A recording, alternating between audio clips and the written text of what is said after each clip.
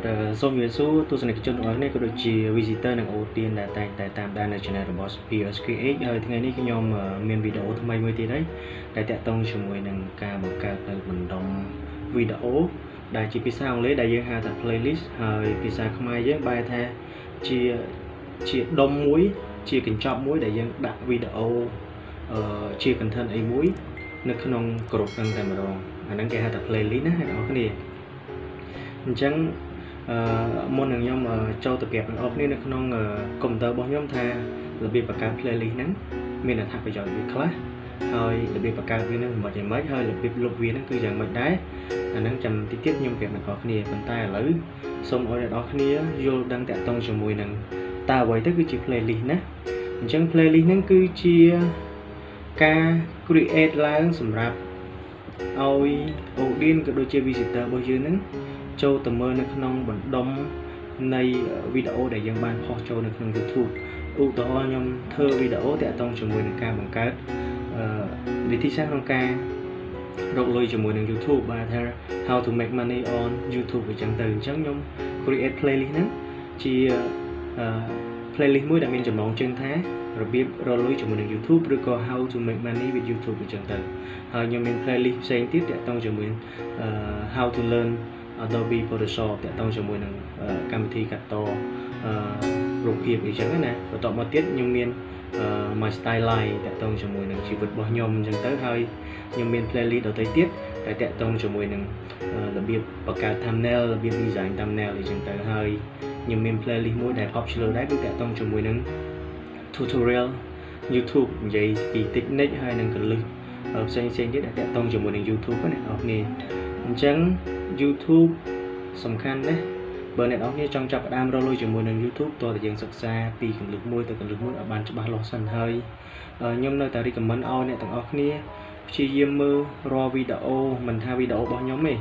វីដេអូអ្នកផ្សេងទៀតណាព្យាយាមមើលរបស់គេកំខាណាបើសិនជាយើងចាប់ក្បាលដំបងហើយយើងមើលរបស់គេពេញចិត្តអាហ្នឹងយើងអាចដូរវីដេអូផ្សេងឬក៏យើងអាច change ទៅកាន់ channel ផ្សេងបានប៉ុន្តែ ព្យាយាមមើលរបស់គេដោយលម្អិតបើយើងចង់ចាប់អាជីពជាមួយនឹង YouTuber ជាអ្នករកលុយជាមួយ YouTube ព្រោះគ្រប់វីដេអូរបស់គេទាំងអស់សិតតែមានគុណតម្លៃនិងគុណប្រយោជន៍របស់គេពេលដែលយើងចុចខាម្ដងបន្តិចម្ដងបន្តិចចំកន្លែងសំខាន់យើងអត់ដឹងពីអត្ថន័យនិងវីដេអូរបស់គេអញ្ចឹងមើលចាប់សិនណាអ្នកគ្នាចាំបាច់តម្លៃទៅលើវីដេអូរបស់គេ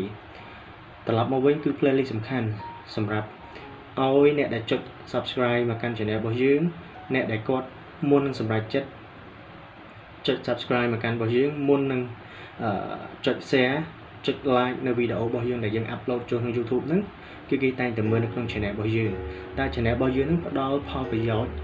អីឲ្យគេខ្លះបន្ទាប់មកគឺគេចូលទៅមើល playlist ដំបូងឡើយគឺគេចូលទៅមើលនឹង about ណា about ហ្នឹងខ្ញុំបានប្រាប់អ្នកនរគ្នាហើយពីរបៀបដាក់ description គេសួរ channel របស់យើងហ្នឹងគឺ ជា channel គេផ្ដល់ចំណេះដឹងអីគេយើងធ្វើ content អីគេយើងរៀបរាប់មកហើយអស់អ្នកនរគ្នាអាចចុច link ខាងក្រោមទៅមើលវីដេអូរបស់ខ្ញុំហើយថ្ងៃនេះគឺ playlist អញ្ចឹង playlist របស់យើងយើងមានគេខ្លះណាយើងផ្ដល់ចំណេះដឹងទៅកាន់អតិថិជនទៅកាន់អ្នកមើលហ្នឹងមានអីគេខ្លះហើយ playlist របស់យើងហ្នឹងមើលទៅវា logic អត់មើលទៅវា low អត់បែរថាយើងនិយាយតាមត្រឹមត្រូវអត់មេរៀនទី1មេរៀនទី2មេរៀនទី3អញ្ចឹងទៅយើងបង្កើត playlist យើងមិនអាចយក ការបង្រៀនរកលុយជាមួយនឹង YouTube មិនចូលជាមួយនឹងវីដេអូ blog ទេយើងមិនអាចយកវីដេអូ blog ហ្នឹងមិនចូលយកវីដេអូ blog នៅក្នុង playlist blog ហ្នឹងយកវីដេអូធ្វើមហូបឬក៏ដើរលេងនៅខាងក្រៅផ្សេងទៀតឬក៏លេងសៀកលេងបៀអីដាក់នៅក្នុង playlist blog ទេអញ្ចឹង playlist ហ្នឹងគឺយើងត្រូវតែ select រាល់វីដេអូណាទាំងអស់ ដែល focus ទៅលើចំណងជើងនៃ playlist ហ្នឹងឧទាហរណ៍ខ្ញុំជាក់ស្ដែងគឺ how to make money on YouTube អញ្ចឹងគ្រប់វីដេអូទាំងអស់គឺខ្ញុំតែងតែ upload នៅចូលអឺ playlist របស់ខ្ញុំគឺ how to make money on YouTube ប៉ុន្តែគ្រប់វីដេអូទាំងអស់ហ្នឹងគឺត្រូវតែផ្ដល់អត្ថប្រយោជន៍ពាក់ដងមួយ technique នៃការរកលុយជាមួយនឹង YouTube ដូចគ្នាដែរណាហើយមានវីដេអូផ្សេងៗទៀតដែលខ្ញុំបង្រៀនតាក់ទងជាមួយនឹងរបៀបរៀនរកលុយ អឺ technique រៀនរកលុយជាមួយ YouTube គឺខ្ញុំបង្កើត playlist មួយមានឈ្មោះថា YouTube tutorial អ្នកនរនេះអាចចូលមើលបានគឺមាន technique មួយចំនួនដូចគ្នាដែរអូខេកុំឲ្យខាតពេលយូរអ្នកនរនេះអាចចូលទៅមើលមួយខ្ញុំនៅក្នុង PC ឥឡូវទៀតហ្នឹងគឺអាចចូលទៅមើលថា playlist គឺមិនវិញមានរូបរាងមិនយើងចូលទៅបង្កើតវាមិនហើយយើងដាក់ description របស់ playlist របស់យើងនឹងមិនហើយយើងបង្កើតហើយយើងលុបមិនដែរណាហើយយើងប្រាប់ tip tip ចុងក្រោយទៀតតកតងជាមួយនឹងយើងមើលរមិចរៀប channel របស់យើងនឹងឲ្យស្អាតណាឲ្យមានការ attractive ខ្ញុំធ្លាប់ចេញវីដេអូមុនមុនហើយប៉ុន្តែដោយសារខ្លាចអឺគ្នាយើងមួយចំនួនដែលគាត់មើលទៅគាត់អត់សូវចាប់អារម្មណ៍គាត់បែរជាខាអញ្ចឹងវីដេអូរបស់គេពេលដែលយើងមើលខាវាបាត់ចំណុចតិចតួចតែសំខាន់មែនទែនណាអូខេហើយថ្ងៃនេះអធិស្ឋានដោយសារខ្ញុំអត់ដាក់ green screen ទេដោយសាររៀងយប់ហើយខ្ញុំថតវីដេអូនេះគឺ ម៉ោង7:10ហើយអញ្ចឹងខ្ញុំអត់បានរៀបចំ green screen ឲ្យដាក់អឺ background studio ដែលស្រស់ស្អាតដូចរដងអញ្ចឹងជាក់ស្ដែងអ្នកនរគ្នាមើលឃើញគឺខាងក្រោយរបស់ខ្ញុំមិនហើយសំខាន់លើយើងថាយើងតាំងចិត្តរលុយជាមួយ YouTube ពិតប្រាកដឬក៏អត់អ្នកនរគ្នាចាំពាក្យខ្ញុំមួយម៉ាត់ YouTube គឺគេត្រូវការអ្នកដែលមានសកម្មភាពណាបាទថាដែលមាន active ជាមួយនឹង YouTube active មិនគឺមានសកម្មភាពបង្កើតវីដេអូវីដេអូចែកម្លែកហើយវីដេអូត្រូវតែមានគុណភាពច្បាស់មានអត្ថន័យមានចំណេះដឹងក្នុងការចែកម្លែកទៅកាន់អ្នកដទៃទៀតធ្វើឲ្យអ្នកដទៃទៀតមើលវីដេអូរបស់យើងទទួលបានជាផលប្រយោជន៍មួយវិញអាហ្នឹងហើយដែល YouTube ត្រូវធ្វើអូខេចូលទៅមើលមួយខ្ញុំរបៀបបង្កើត playlist របស់គ្នាណាអូខេសួស្តីអ្នកនរគ្នាម្ដងទៀតឥឡូវខ្ញុំបាន មកដល់នៅក្នុងកុំព្យូទ័ររបស់ខ្ញុំហើយហើយអឺជាការสนับสนุนរបស់ខ្ញុំសូមឲ្យ visitor ក៏ដូចជា audience ក៏ដូចជាបងប្អូនថ្មីថ្មីមួយចំនួនដែលគាត់កំពុងតែមើលវីដេអូមួយហ្នឹងក៏ដូចជាមើលរាល់វីដេអូរបស់ channel POSKH សូមបងប្អូនជួយចុច subscribe and share វីដេអូក៏ដូចជា comment ដើម្បីជាការលើកទឹកចិត្ត ដើម្បីខ្ញុំបង្កើតវីដេអូតាក់ទងជាមួយនឹងការរកលុយជាមួយ YouTube ផ្សេងផ្សេងទៀតចឹងណាអូខេឥឡូវកុំឲ្យខាត់ពេលយូរយើងចូល topic យើងតែម្ដងតាក់ទងជាមួយនឹងរបៀបបង្កើត playlist ណាអញ្ចឹងយើងមិនអាចផុសវីដេអូតែទៅពីបានទេអញ្ចឹងបើសិនជាអ្នកតាមដានវីដេអូរបស់យើងតាមដាន channel របស់យើងតាក់ទងជាមួយនឹងវីដេអូដែលយើង upload វាយើងមិនដែលធ្វើមកមកបាទយើងមិនដែលធ្វើ ពីការរលុយទៅមុខវាត្រូវមាន technique អីផ្សេងទៀតឧទាហរណ៍ខ្ញុំអញ្ចឹងណាអញ្ចឹងយើងត្រូវតែបង្កើត playlist អញ្ចឹងតាក់ទងជាមួយនឹងអឺ platform platform របស់វានេះគឺអឺយើងមាន home ណា home ហ្នឹងគឺយើងចុចមកគឺមានតម្រងអញ្ចឹងដូចគ្នាណា home តម្រងអញ្ចឹងបើកមក channel របស់ខ្ញុំមើលទៅវាមានចំណាប់អារម្មណ៍តិចតួចដែរណាហើយនេះគឺសិតតែ playlist ហើយហើយតកតងជាមួយនឹងការរៀបការរៀបតកតងជាមួយអញ្ចឹងអញ្ចឹងហ្នឹងគឺ ខ្ញុំបានប្រាប់អ្នកទាំងអស់គ្នានៅក្នុងវីដេអូមុនមុនហើយអស់ហើយអ្នកទាំងអស់គ្នាអាចចូលនៅក្នុង description ក៏ដូចជាចូលទៅមើល playlist របស់ខ្ញុំបានកន្លែង YouTube tutorial ណាអ្នកទាំងអស់គ្នាឥឡូវយើងចូលមកដល់កន្លែង playlist ណាកន្លែងនេះគេហៅថា playlist ខ្ញុំចុចមើល playlist សិនអញ្ចឹងគឺជាបណ្ដុំឯកសារក៏ដូចជាវីដេអូទាំងអស់របស់ខ្ញុំដែលខ្ញុំបង្កើត playlist អញ្ចឹងឃើញទេនេះ my green my green screen ណាខ្ញុំទៅបានធ្វើធ្វើបាន2វីដេអូទេហើយខ្ញុំនឹង plan ធ្វើឲ្យបាន4ទៅ5វីដេអូទៀត ដើម្បីចែកម្លែកចំណេះដឹងទៅកាន់បងប្អូនទាំងអស់គ្នាដែលកំពុងតែតាមដាន channel របស់ខ្ញុំណាគឺខ្ញុំនឹងប្រៀបប្រាប់បងប្អូនពីរបៀបធ្វើបេតុង subscribe នៅលើកម្មវិធីអឺ Filmora មាន effect ច្រើនមានអីចឹងទៅហើយមួយនេះគឺរបៀបធ្វើ thumbnail អញ្ចឹងធ្វើបាន3វីដេអូរបៀបបង្រៀន Photoshop ខ្ញុំធ្វើបាន5វីដេអូហើយនេះគឺជារបៀប edit វីដេអូហ្នឹងគឺខ្ញុំធ្វើបាន ពីវីដេអូហើយនេះគឺជា playlist បន្តបន្តទៀតណាអ្នកនរគ្នាហ្នឹងហើយគេហៅថា playlist ណាអញ្ចឹង playlist មួយនេះគឺ Beer Money with YouTube អញ្ចឹងរបៀបរលុយជាមួយនឹង YouTube ហើយអានេះវិញគឺមក YouTube live តាក់ទងជាមួយនឹងរឿងរបស់ខ្ញុំតាក់ទងជាមួយ YouTube តាមពិតខ្ញុំត្រូវមានច្រើនណាព្រោះខ្ញុំចង់បង្កើត playlist ហ្នឹងដើម្បីប្រាប់អ្នកទាំងអស់គ្នាពី កុំឲ្យបាក់ទឹកចិត្តចឹងណាហើយវាមានវីដេអូច្រើនទម្រាំតែខ្ញុំយល់ដឹងពី YouTube ហ្នឹងគឺបោះបង់ចោលមិនតិចដងទេណាអ្នកទាំងអស់គ្នា OK ឥឡូវអ្នកទាំងអស់គ្នាដឹងហើយអាហ្នឹងគេហៅថា playlist ណា OK អាហ្នឹងហើយដែលហៅថា playlist ហ្នឹងអញ្ចឹងដើម្បីចូលទៅបង្កើតវាបានពេលដែលយើងចូលមក YT Studio ក៏ដូចជា Meta Studio នេះគឺយើងឃើញ platform បែបនេះអញ្ចឹងយើងចូលទៅចុចកន្លែងនេះណាចូលទៅចុចកន្លែង customize channel អូខេចុចកន្លែងហ្នឹងមក អូខេបន្ទាប់មកវានឹង load ដែរអញ្ចឹង playlist របស់ខ្ញុំខ្ញុំបានបង្កើតឲ្យអស់ហើយអ្នកនរគ្នាណាខ្ញុំបានបង្កើតឲ្យអស់ហើយអខ្ញុំនឹងបង្កើត playlist ផ្សេងទៀតតកតងជាមួយនឹងការរៀននៅកម្មវិធីកាត់តរូបភាពតកតងជាមួយនឹង Illustrator ណាអញ្ចឹងខ្ញុំសូម cancel វិញគឺខ្ញុំបញ្ជាក់ប្រាប់ទាំងអស់គ្នាអញ្ចឹងការបង្កើត playlist របស់យើងគឺយើងចូលកន្លែង កន្លែងមិញហ្នឹងកុំឲ្យអ្នកនរថាអត់តណាខ្ញុំ back មកវិញមកយើងចូលមកកន្លែង customize channel នេះចូលមកកន្លែងនេះណាចូលមកកន្លែងហ្នឹងមកវានឹង load ទៅ platform មួយណាអញ្ចឹងដើម្បីបង្កើត playlist បានដំបូងឡើងគឺខ្ញុំអត់មានអានេះទេ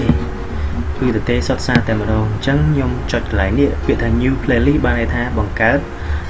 ក្រុមថ្មីណាក្រុមដាក់វីដេអូនឹងថ្មី អូខេអញ្ចឹងគេចុចកន្លែងហ្នឹងមកគេដាក់នេះគេដាក់ playlist title អញ្ចឹង playlist title ហ្នឹងគឺចំណងជើងរបស់ playlist អញ្ចឹងខ្ញុំដាក់ថាអឺខ្ញុំចង់បង្កើត playlist មួយទៀតតាក់ទងជាមួយរបៀបបង្រៀនកាត់តរូបភាពតែជាកម្មវិធីរបស់ Illustrator ណាដាក់ថា Adobe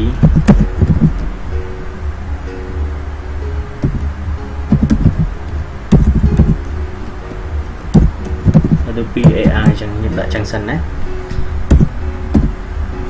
ខេខ្ញុំចុច creative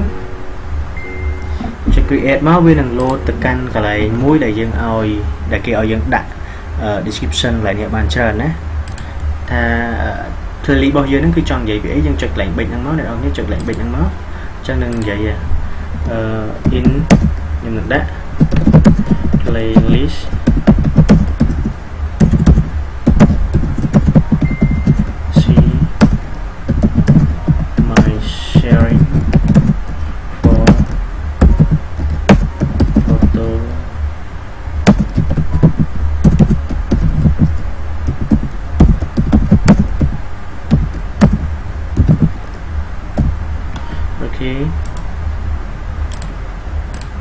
ខ្ញុំដាក់តែប៉ុណ្ណឹងមកយើងអាចទៅជ្រើសរើសច្រើននឹងបានអាហ្នឹងទាក់ទងជាមួយនឹង playlist ហ្នឹងគឺយើងចែករំលែកពីអីចឹងទៅ OK ចឹងខ្ញុំចុច save មកយើងបាន playlist មួយណា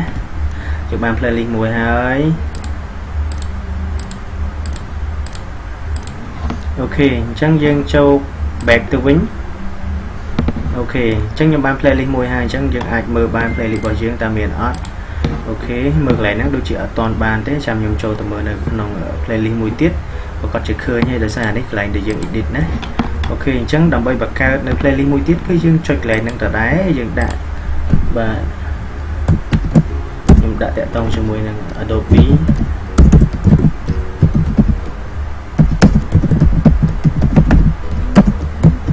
ខ្ញុំគម្រោងនឹងបង្កើតវីដេអូតាក់ទងជាមួយការកាត់តនៅក្នុងកម្មវិធី Adobe Premiere Pro តាក់ទងជាមួយកម្មវិធី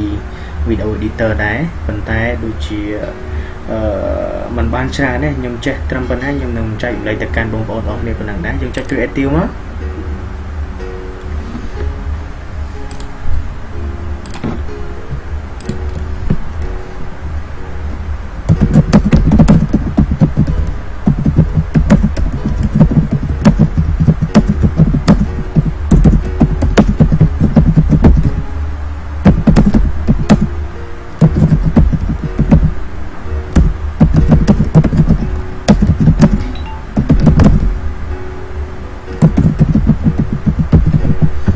សែលសិនមក OK អញ្ចឹង playlist បានអ្នកទាំងអស់គ្នាយើងបង្កើតប៉ុណ្ណឹងមកហើយយើង back ទៅវិញហើយយើងនឹងចូលទៅកាន់ my channel ហើយយើងនឹងទៅមើល playlist របស់យើងថា playlist របស់យើងហ្នឹងមានឬក៏អត់ណាអ្នកទាំងអស់គ្នា OK អញ្ចឹងយើងត្រឡប់ចូលមកកន្លែង OK អ្នកទាំងអស់គ្នាអញ្ចឹងយើងបង្កើត playlist រួចរាល់ហើយអស់អញ្ចឹងដើម្បីចូលទៅមើល playlist បាន គឺយើងអាចចូលនៅកន្លែង YouTube Studio នេះមកអូខេអ្នកនរគ្នាយើងចូលកន្លែងហ្នឹងមកហើយរងចាំវាមកផ្លែតណាអូខេអញ្ចឹងយើងទាញអុសខាងក្រោមនេះមកណាទាញអុសខាងក្រោមនេះមកយើងចូលទៅកាន់ playlist បន្តមកទៀតវានឹងបង្ហាញយើងតាក់ទងជាមួយ playlist ថ្មីថ្មីដែលយើងបានបង្កើតហើយអញ្ចឹងខាងក្រោមនេះគឺសិតតែ playlist ខ្ញុំបានបង្កើតទាំងអស់ឃើញហើយ playlist អឺពីរក្រោយនេះដែលខ្ញុំបានបង្កើតនេះគឺនៅខាងនេះឯងគឺតាក់ទងជាមួយ playlist ទី1ដែលខ្ញុំបានបង្កើតប្រាប់អ្នកទាំងអស់គ្នាហ្នឹងគឺ Adobe AI តាក់ទងជាមួយកម្មវិធីកាត់តរូបភាពដែរហើយនេះគឺជា Adobe Premiere Pro តាក់ទងជាមួយកម្មវិធី editor video ណាដូចវីដេអូដែលខ្ញុំកាត់ខុសហ្នឹងអឺក៏ខ្ញុំមានចំណេះដឹងកន្លែងហ្នឹងតិចតួចខ្ញុំនឹងធ្វើវីដេអូប្រាប់អ្នកនរគ្នាដែរហើយអឺ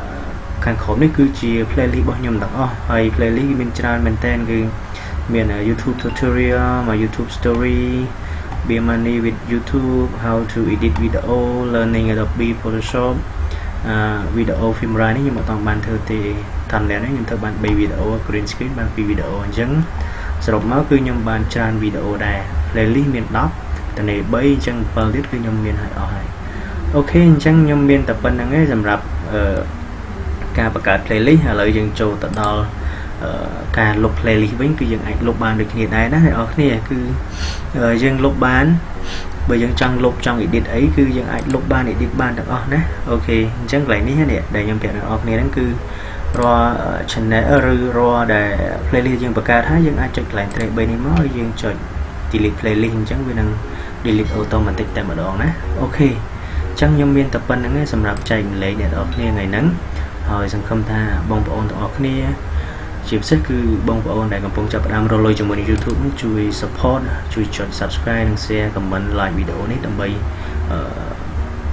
ទទួលបាននៅវីដេអូថ្មីថ្មីណាជួយចុច subscribe ផងអូខេអរគុណច្រើនជួបគ្នានៅ next video related our lesson how to make money on YouTube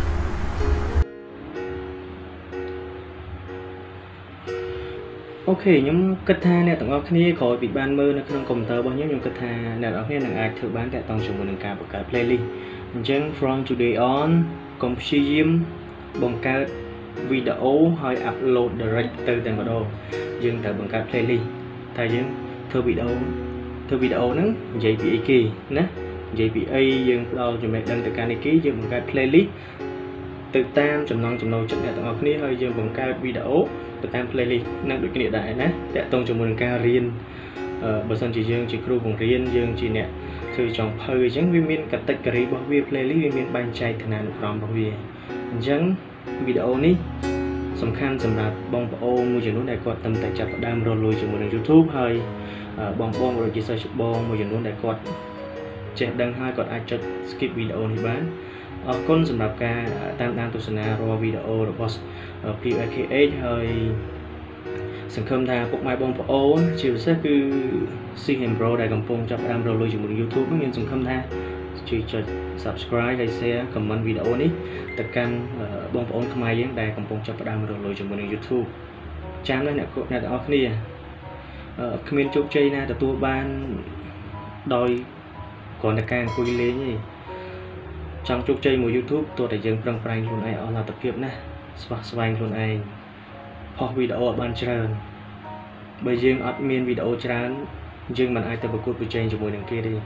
មួយថ្ងៃគេធ្វើវីដេអូផុសមួយមួយថ្ងៃគេធ្វើវីដេអូផុស2 3ចុះយើងមួយអាទិត្យមួយពីរអាទិត្យមួយ4អាទិត្យមួយឬក៏មួយខែមួយសួរតែយើងទៅប្រកួតប្រជែងមួយគេកើតឬអត់អូខេអានឹងចំណុចសំខាន់ អូខេអរគុណច្រើនជួបគ្នានៅវីដេអូក្រោយតាក់ទងជាមួយនឹងការនិយាយពីតិចតិចអឺអ្នកដែលចាប់ផ្ដើមរលុយជាមួយ YouTube ត្បងត្បងអរគុណច្រើន